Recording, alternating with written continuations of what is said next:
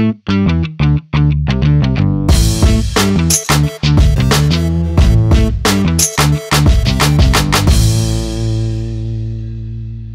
everybody, I'm excited to be welcoming Wil Reynolds of Seer Interactive. Wil is someone I have a lot of respect for. Not everyone might know this, but uh, kind of in the infancy of Siege, Wil has been especially gracious and given me advice in some of the hardest situations at Siege. He's given me uh, some guidance for. So if anything bad has happened to you, he probably gave me advice on it in some way. Uh, so that's that's very gracious. Obviously, I don't think we're like directly competitive in any way, but that he would do that shows a lot about his character. And most people know Wil, uh, who are probably watching this in some way, but uh, Seer is a agency in Philadelphia and San Diego. What's the current number now? 145. 145. Definitely hugely respected agency that I have a lot of respect for. And today we want to talk about just the state of con, uh, not content, but links in 2018 as it comes to agencies uh, Wil's agency, at least from my per- vantage point, uh, in its infancy or earlier times, was definitely known as an SEO agency with a focus in links. Mm-hmm. And that was definitely your background. That was kind of my background as well. And obviously, the industry has kind of changed. So I'm curious, just from your point of view, how how's that conversation change? How have you thought about that change? How to how's that conversation change with clients and things like that? It's changed a lot, Ross. Um, you know, I, I tend to be the kind of guy that always focuses on the money. And I'm the kind of guy who I want, I think SEO doesn't get, doesn't get a seat at the table that it should. And I think we all agree with that SEO and content doesn't get a seat at the table. So that means that I gotta, when I look at the CMOs of the world, so I've, I've this last week I've had two meetings with CMOs of very large companies. And I think when I used to go in talking about how my links were built, they were naturally curious, you know, oh, tell me about that. And I saw, I saw myself losing them because when you start talking about the value of a link, you immediately have to start talking about domain authority. You have to start talking about PageRank and things that never end up in their uh, in their quarterly reports. So it's not in your you know your 10Q. So therefore, their mind is on like I got to hit these certain numbers. So what I'm doing is I'm increasing a massive cognitive load for them to try to learn what domain authority is, learn what PageRank is, learn how PageRank flows through a site, and all that stuff. And then the PPC team walks in and they're like, yeah, we could just make you another like million dollars if you gave us another 500,000 and they're like, yeah, can you shut up about those links? I'm just going right. to give them 500 grand. Yeah, okay. And, you know, I'm not getting 10 grand to get a piece of content, but I was watching my paid search team walk out with half a million bucks. And I was going, that must be something with me, right? Because I understood the value. I always say, when you understand the value of something and it's so clear to you and the people you're talking to don't get it, that's your fault, not theirs. So then we started realizing that we wanted to look at links as something that were either driving revenue or driving engagement in a way that they would understand. So it's like, all right, this link is driving traffic that typically does these types of things on the website that you see high value in is way different than trying to tell somebody what the domain authority is.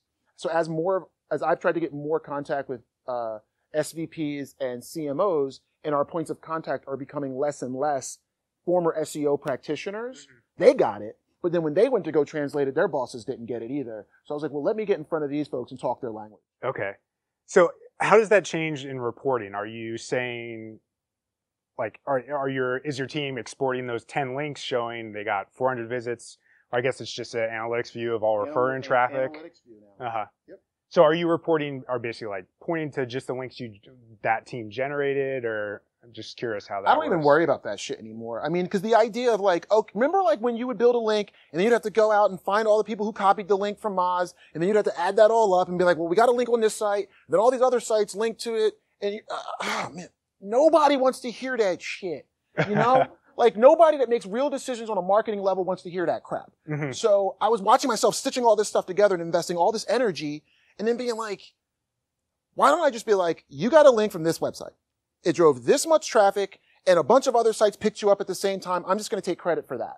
And, and you could just see CMOs were like, okay, like that makes sense. Mm-hmm. Like you got a link from this site. A bunch of other sites picked it up. So everything that kind of came in from traffic from those sites for ever uh, you guys get credit for it. It's like, okay, I got it. Okay. So I, we're, I mean, in the, maybe we just find ourselves as kind of the chunky middle, but I don't think we have small clients by any means. We definitely have public companies in our client base and things like that. And there's still a good percentage of those people that come to us and they have such clear, we see value of content and things like that, but, or they should see the value of content, but they're just like, hey, we want high domain authority links. So that sounds like I don't know if you're just leveled up to that point where that's the majority of your client base, which it probably is. But what about that chunky middle that might represent the general agency population? Like, how do you communicate and talk to them, or Uh, do you, or you just do. say they're no, not? no, good we do because um, I think one of the one of the burdens, for lack of a better word, when you're trying to change the perception of an industry, you can't just be like, "Why don't you people fucking get it?" You know. So we try to educate and think about it. When I talk to a client, I'm going, "So you want to walk into your boss and tell your boss, who doesn't know anything about links, that I just got a link from the New York Times, and if I don't value that as the same way that a PR team would, right? I was watching PR teams get get mentioned in the New York Times and talk about hundreds of thousands of dollars in value, which somebody gets, and I'm going in talking about they're a domain authority 98, and somebody's like, "What?" I was watching it, right? We would get a link from the New York Times, mm-hmm. and they were like, "Yeah, yeah, what?" You know that that link. Mm-hmm. So we do education. We try to re-educate, and if you don't believe what we believe, that's a great thing because it keeps us nice and narrow on the types of clients that we work with. Because it sucks when you're an agency and you got your loudmouth CEO out there being like, "We don't want to do this shit," and then you're closing deals where people are like, "Can you just do that like link building thing for me?" So we don't take like link building only clients on because my team started being like, "Really? Like that's not what you even want to do. So why are you taking on these projects? Why am I working on this shit? That's not why I came here." And you're Okay. like, "Okay, I got it. Yep, you're right." Um, so we really don't when a client if a, if a KPI for a client is links, we can't take them on right now. okay. So we're trying to re-educate. But if they're like, nah, still go get me the links, or they'll say yes during the BD process. Mm-hmm. But then when they creep in, our team members start being like, now they're asking about domain authorities like every month for all my links, and I want 20 a month. And they know that that's an immediate flag, and then we'll have to either try to re-educate again or we'll have to part ways. Okay. And how often do you do that part ways process? I mean, that's definitely a difficult thing that very rarely we've done as an agency. Uh, occasionally we have. It's never fun. Uh, but just curious how that happens with you and how you deal with that. We don't do it too often because as your BD team, um, so first of all, our BD team doesn't get any commission, so there's no pressure on their side to bring in clients who don't fit our model, right? So if you got to feed, if you got to feed your family, and you're on a commission model, and then somebody comes and says, "I want links," it's actually in your best interest to kind of be like, "Yeah, sure, I got to put my kid through school, or I got to put food on the table." So by not giving commissions to my BD team, uh, it helps to take away the incentive for them to close deals that aren't necessarily the best match. So we don't have an incentive to bring those clients on. And because we're a high referral shop, you know, it's, whatever clients you have, um, they'll refer you a lot to other kind of clients who believe the same thing. So if I continue to take on link total domain authority clients, well, who are they going to refer to me? Right? Other people that want the same thing. Oh, they're sense. great at link building. Mhm. They're great at getting you high domain authority, juicy Those links. And if that's not where I want to place Mhm. my bets, then then I don't want to attract more of the kind of clients that I just have to say That no to.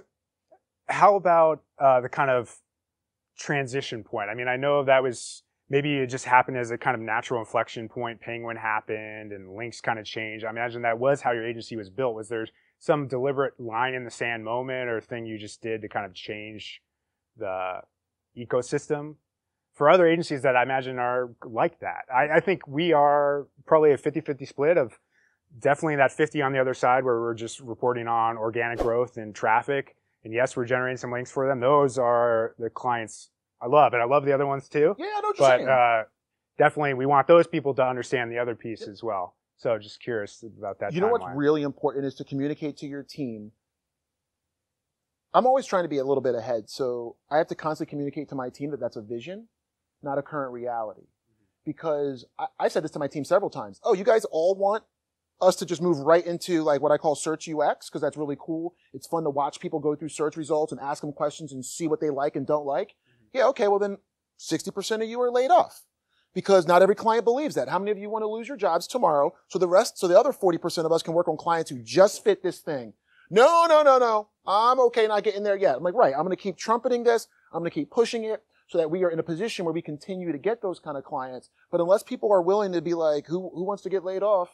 Which I don't want to play that game. I live in fear of layoffs, which is another reason why I don't chase algorithms too much because if you're slightly ahead, you start telling your clients, I'm placing little bets. So even back in the like RCS days of like, oh, you need to do real company shit, I was still building fucking directory links. Why? Because I'm told my clients like that's where we need to be, and we need to have 10% of our, our work focused on that. But right now, if I don't do it, you're going to call me snake oil because I'm never going to get your rankings. Yeah, you lose your but then clients. once Mhm. Google started saying like, oh, we found a way to devalue that, that was great for us because we had already had a 25, 30% investment of our time doing other quality stuff. Mm-hmm. So we've always avoided penalties that have made the industry pivot, which has been great for our business. Okay. Because when all those people get hit, their SEOs are going out there building more links and they're like, oh my God, well, the, the, links aren't working anymore. Get more yeah, directory links. Sense. Right. So mm-hmm. yeah, that's why we've kind of always been a step ahead, which is why now I'm focused on UX more than anything because it's like eventually Google's going to know what content is solving people's problem and not. So just because it ranks is not an indicator of whether or not your problem is solved. We click on a lot of bad number one results. Mm-hmm. So I've seen that now four or five times in certain verticals where I've been shocked. People that have 10, 15, 20, 30 times the amount of links than the other competitors are sitting down at number 20 or 30 for a word that they've made and brought to market mm-hmm. because their page doesn't answer people's good. questions. Yeah, yeah. That makes sense. So kind of in closing on links, I'm just curious, uh, how, like where do we go from here? Like what percentage of your effort is on that today? I know you're, you're, and I guess you could also clarify Seer state today. I think you've kind of transitioned to more of a holistic full digital shop. Maybe you could clarify that as well, but um, what percentage of the effort is going is on that from your team and how you think about that as it comes to search?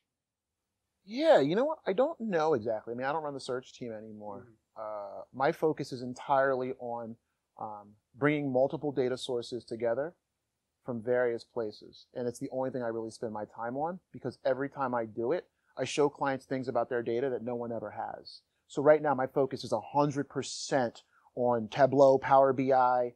I'm bringing in and marrying my PPC data. yeah, like I'm marrying my PPC data to um, Screaming Frog data right? So I can show my clients like which pages are converting, which keywords are converting. You know, SEOs will be like, not provided. I'm like, it's called PPC, dog. Like, seriously, when not provided came out, SEO was like, oh man, Google took away the shit. And I'm like, just go into fucking PPC, get a CSV. It's called a search term report. Pull it down, marry your search terms from paid to your organic rankings. And now you've got a proxy for what words convert and don't convert. Like, shut up and go to work. So that's my entire focus. I just sat with a company, no bullshit. Um, I looked at 1.7 million keywords for them that they uh, search terms for my paid people. Uh, there's a big difference. Um, I looked at 1.7 million search terms over the last 12 months. Then I could look at how, what's the unique count of keywords that converted. 101,000 out of 1.7 million had ever gotten at least one conversion. That's 107,000. Out of that 107,000 words, that had converted at least once in the last 12 months. 101,000 converted once, twice, or three times. So when I go to build a content strategy, what I do is I look at what domains show up for the for all of those big mm-hmm. words, and I go, they've nailed content mm-hmm. somehow to be able to rank in the top whatever I choose for all these words in this crazy ass long tail. And then okay. I try to model after them and say that's going to be our content strategy. And because I'm overlaying to my client conversions, no matter what I say to them, I always know that they got at least a conversion on it. Yeah. Right. Sense. So when somebody goes, well, that might be mm. a high search term, but that's not what we do. I go, well, you got 1500 conversions on that last year. Are you sure you want to continue to rank number 33? And then links and content and the tools that I use to get that ranking up are a byproduct. Okay.